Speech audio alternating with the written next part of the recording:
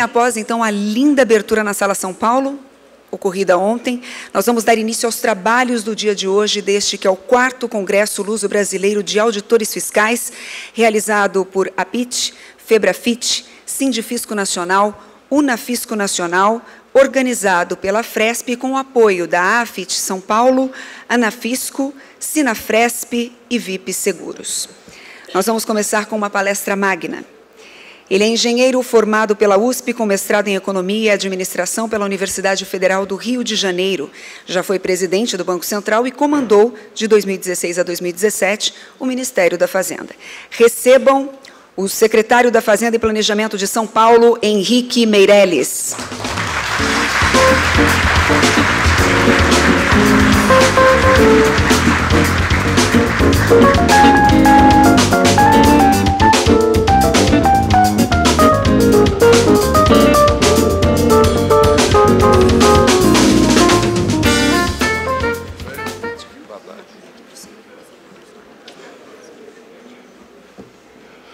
Muito obrigado. Em primeiro lugar, quero saudar a todos, saudar a todos que vieram, seja de outros estados brasileiros, seja de Portugal, e também todos os meus colegas profissionais aqui de São Paulo.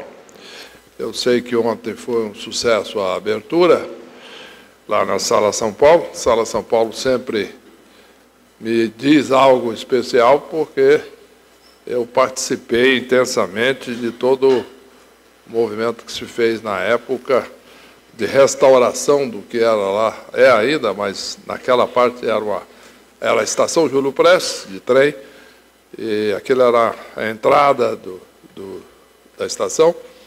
Fizemos lá uma reformulação quando eu era presidente do Vivo Centro de São Paulo e resultou nisso a Sala São Paulo. Bom, eu quero saudar o Marco Sintra, secretário da Receita Federal do Brasil, que tenho certeza vai propiciar um debate interessante aí sobre os nossos rumos aí da tributação brasileira. Ele é, é um autor aí de proposta de reforma tributária, a gente está contando aí a primeira, não é, Marcos, que já data de algum tempo, quando foi feita a primeira proposta. Gustavo Lei, coordenador da administração tributária de São Paulo, é, nosso colega lá, que eu agradeço também o convite, o Juraci Soares, o presidente da FEBRAFIT, e o Nuno Barroso, presidente da Associação Portuguesa, o Mauro Silva, que é o presidente da Unafisco Nacional, o Rodrigo Espada, presidente da Associação Paulista, fiscais de renda do Estado de São Paulo, auditores é, de todo o país, e de Portugal. Eu vou começar falando rapidamente sobre em que ambiente estamos vivendo, do ponto de vista econômico, ser uma coisa rápida, um, também um minuto sobre São Paulo e entramos aí uh, um pouco sobre, eu gostaria de falar sobre o papel uh, do fiscal de renda uh, no país e no Estado. Né? Em primeiro lugar, eu queria apenas mostrar a evolução eh, do, eh, da evolução do produto brasileiro e mostrar claramente como ele saiu aqui de, uma, de um patamar ah, em 14 de cerca de 3,5%, tinha atingido patamares até maiores antes. Meu último ano no Banco Central ele chegou a 7,5% em 2010. Mas ah, houve uma queda muito forte e durante a gestão do, do, do, do governo é, da presidente Dilma, e aqui nós tivemos ah, um, digamos aqui, o ponto pior foi exatamente quando nós assumimos aí ah, o, o, Ministério de, lá do, da Fazenda, quando nós estávamos aqui neste patamar eh, de mais de 5% de queda. Né? Através de uma série de reformas que foram feitas, reforma, uh, reformas que deram uma base para a retomada do crescimento, a retomada da confiança, eu vou mostrar isso, seja o teto de gastos, a própria reforma trabalhista, a lei de governança estatais, nós tivemos aqui uma recuperação bastante rápida. E chegamos aqui de um mínimo de menos 5,5 até esse número não, tá, não aparece aqui, mas no final de 17, sempre na comparação com o mesmo trimestre do ano anterior, chegou a 2,2. Então, portanto, tivemos uma evolução aí de quase 7%. Agora, tudo isso foi resultado exatamente do aumento da confiança. É? Eu mostro aqui como estava a confiança em 13, a que ponto ela chegou no início de 16, depois que começamos a implantar as políticas adequadas para o país, que continuam, nós uh, tivemos aí a recuperação da confiança. O risco na trajetória inversa. Tinha atingido aqui quase 500 pontos, ah, voltou aqui ao patamar abaixo de 200, subiu um pouco no período eleitoral, voltou a cair ah, no período pós-eleitoral. Portanto, esta é a evolução que ah, houve nesse período. Agora, olhando à frente, esta é a trajetória de dívida pública. Eu gostaria apenas de chamar a atenção dos efeitos da reforma da Previdência. Né? está sendo debatido, o, o governo está dando uma prioridade total, como deve, à aprovação da reforma da Previdência. Eu queria apenas chamar a atenção, porque eu também tenho um envolvimento grande, a primeira proposta da reforma nós fizemos, quando estávamos lá, etc. Agora, uma proposta bastante completa, etc. Esperamos que, é, e tenho confiança que deverá ser aprovado, mas, de qualquer maneira, ah, isto é uma trajetória da dívida pública brasileira com a reforma, prevista, né? com uma série de hipóteses, e aqui sem a reforma. Sem a reforma, nós vamos atingir aqui a cerca de 102%, mais de 100% eh, do PIB, o tamanho da dívida pública, isto é, a dívida pública como percentual do PIB, o que claramente é uma trajetória insustentável. Então, não há dúvida de que a reforma da Previdência é uma necessidade. Ah, em termos de crescimento, o Brasil ah, cresceu, em 2000, está crescendo aí cerca de 1%, eu acho que muito em função das expectativas, aí, ah, e aprova ou não aprova a reforma da Previdência, aprovando a reforma, etc., nós tenderemos a entrar no nosso ritmo que eu chamaria de um ritmo dentro do potencial do Brasil. Pode até crescer um pouco mais uh, aqui neste primeiro momento, devido ao hiato de produto que existe em função da recessão anterior. Mas vamos colocar aqui, então, a trajetória normal aí dentro do, do nosso potencial de crescimento. Pode ser maior? Pode, dependendo depois das aprovações, não só das reformas, mas ah, das medidas de aumento de produtividade. Falando um pouco sobre São Paulo, nós temos uma agenda pró-competição, ah, estamos incentivando e abrindo possibilidades para que o capital privado possa investir principalmente em infraestrutura, que é uma necessidade grande. Temos um programa ambicioso, abrangente de investimentos e privatizações. Ah, por exemplo, temos aqui investimentos em metrô, estradas, portos, aeroportos, água, esgoto, prisões e outros. Um projeto extenso de investimento em privatizações, não só na infraestrutura, principalmente na infraestrutura, mas em outros serviços básicos também. A primeira rodovia, uma rodovia de mil quilômetros, que sai ali de Piracicaba, vai até a divisa do Paraná, já está em processo. Em resumo, existe aí todo um, uma, uma vasta, uh, um vasto programa, um vasto, um vasto potencial de investimento de fazer com que, de fato, cada vez a estrutura, a infraestrutura de São Paulo atenda às necessidades de crescimento do Estado. Muito bem, a ideia, então, estamos fazendo aqui uma série de projetos, como a modernização da indústria, lançamos 11 polos de desenvolvimento econômico, mas, importante mencionar isso, incentivos sim, mas com responsabilidade fiscal. Nós estamos promovendo aí a reindustrialização, vamos chamar de São Paulo, na medida que São Paulo perdeu um pouco ah, dentro ah, desse processo eh, dos últimos, da última década, eu diria, mas, principalmente durante o processo da recessão, a São Paulo, a, a, economia e a indústria caiu um pouco mais da, da média nacional, porque a indústria caiu um pouco mais que a média nacional, mas agora, com a retomada e com todos os programas, esperamos que São Paulo volte a crescer, inclusive acima da média nacional. Muito bem.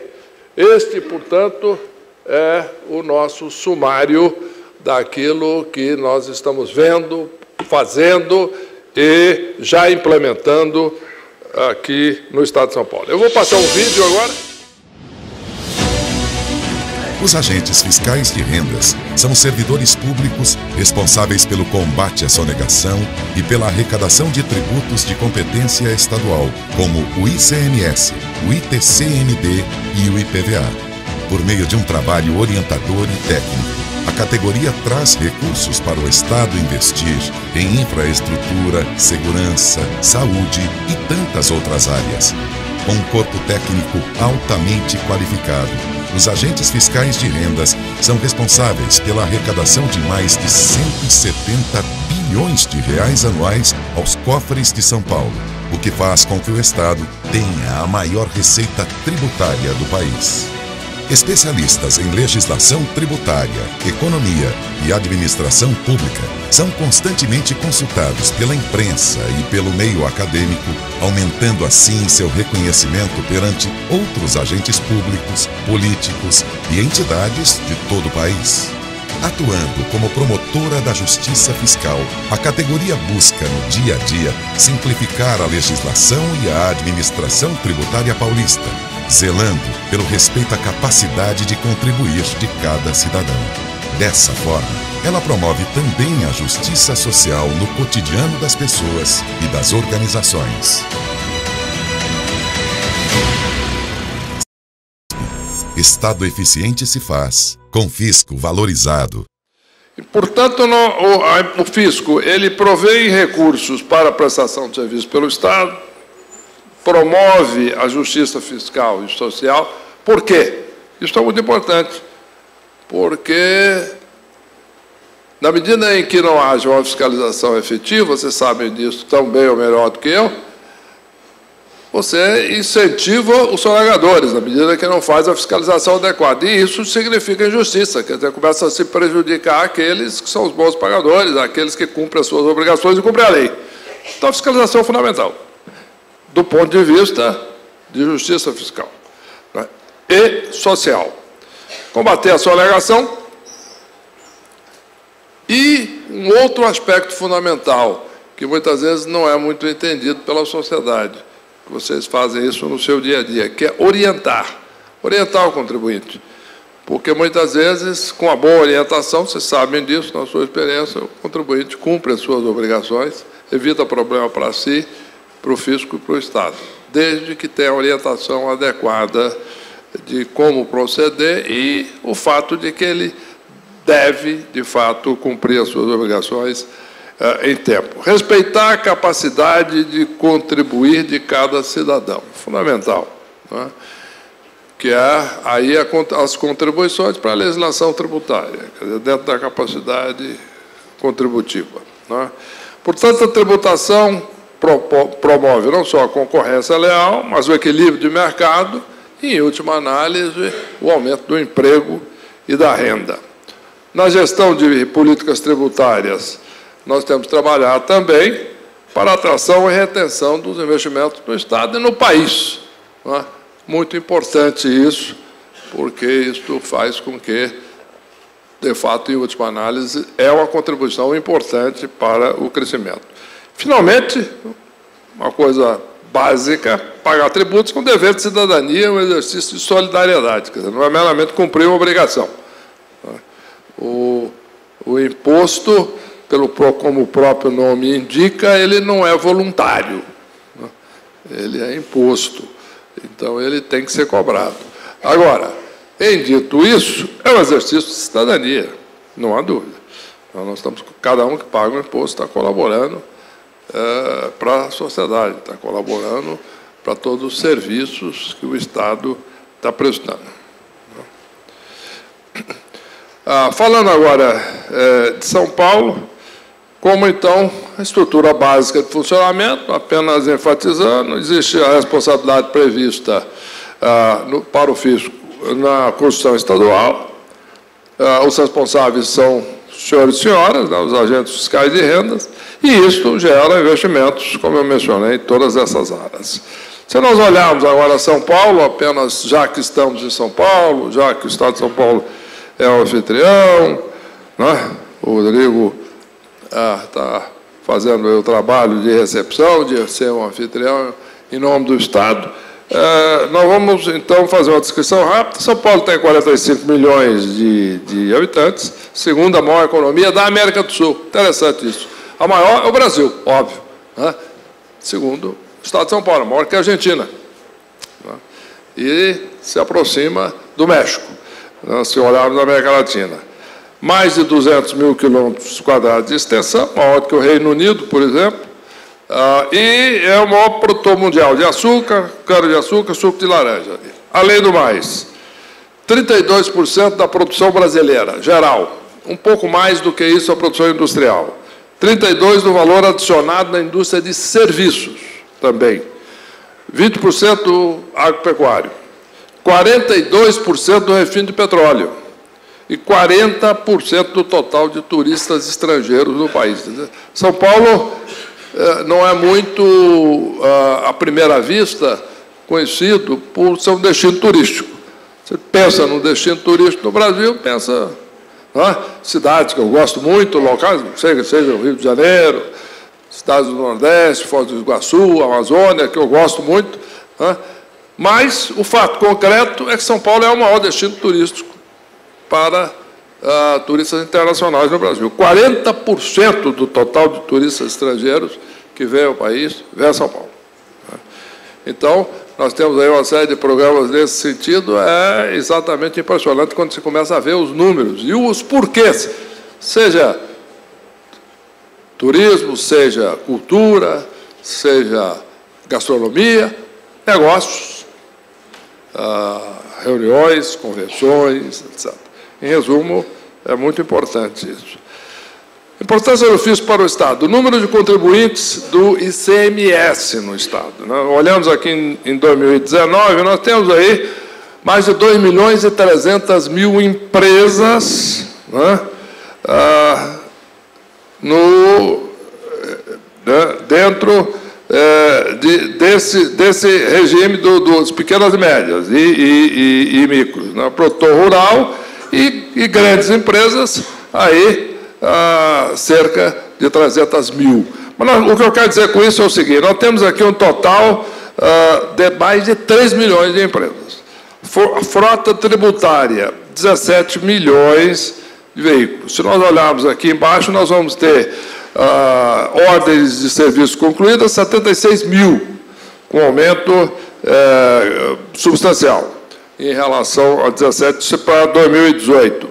Mais de 1.600 empresas uh, que foram uh, localizadas como empresas defachadas foram fechadas, um aumento de 29%. Uh, 12 mil autos de infração foram lavrados. Né? E foi, então, constituído um crédito tributário aí de 24 bilhões de reais.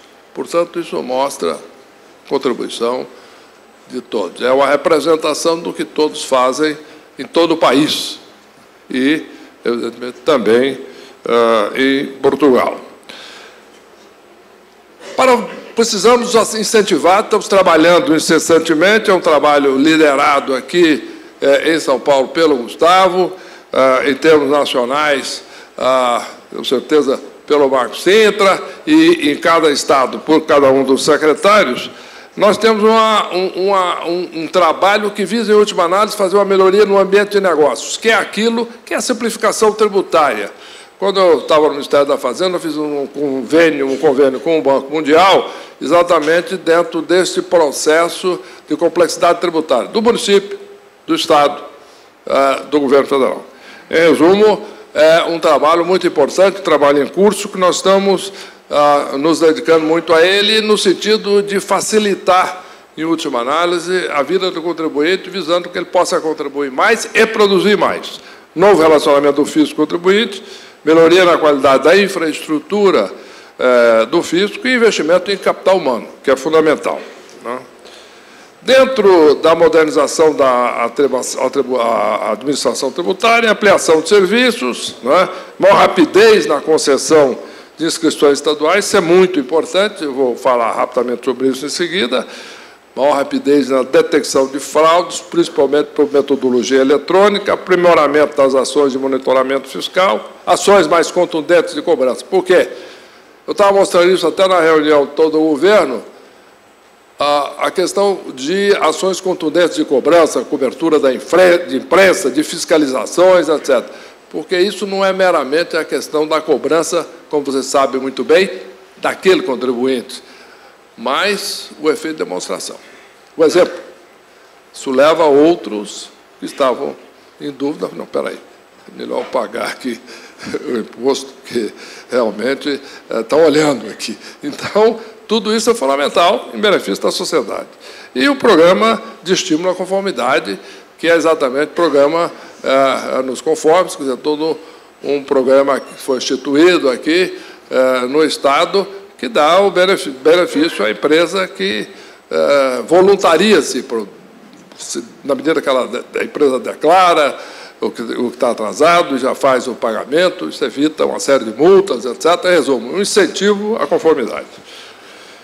Muito bem, aí nós temos então o programa de estímulo à conformidade.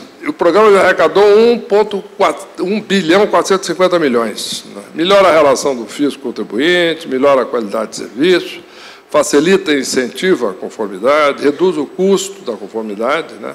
facilita a autorregulação, isso é muito importante, o cliente se autorregular, simplificar a legislação tributária, estamos sempre trabalhando nisso, estimular a concorrência leal dos agentes econômicos, como eu já mencionei, e aumentar a arrecadação sem aumentar o tributo, fundamental.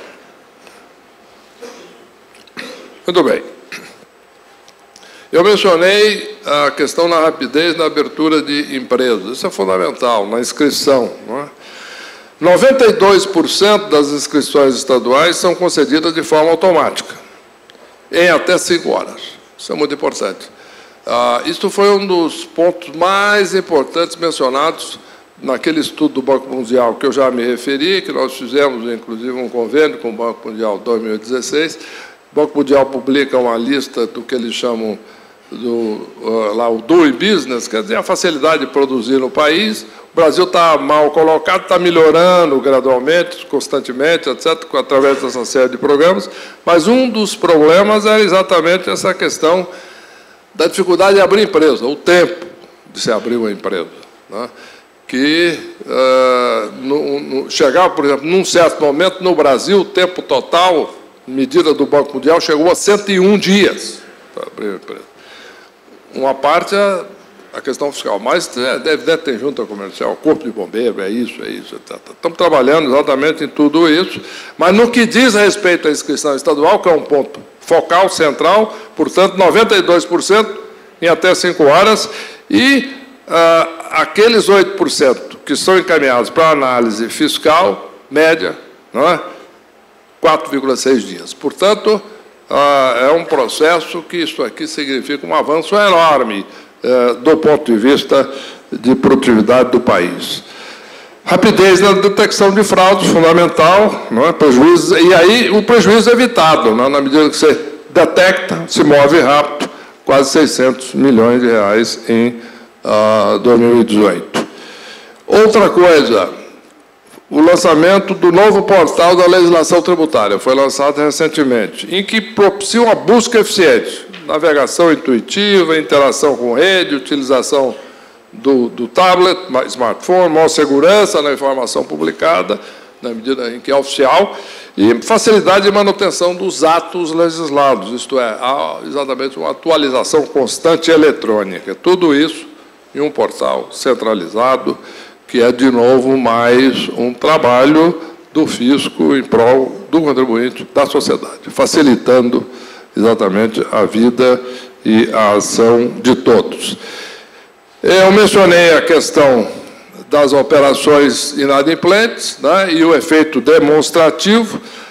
Portanto, isso é necessário, então, ação contundente para o recolhimento de débitos declarados e não pagos. De novo, para criar um, um, um, um mau clima, etc. Não, é ação contundente no sentido de ter divulgação, ser algo visível, de maneira que, primeiro, o contribuinte que está cumprindo as suas obrigações fala, tá bom, aqueles que não estão cumprindo ah, estão sendo fiscalizados, etc., ah, e auditados. E aqueles que, porventura, não estivessem ah, também cumprindo as suas obrigações, falam, não, eu vou fazer. E evitam um problema para ele e para o Estado e para o país. Né?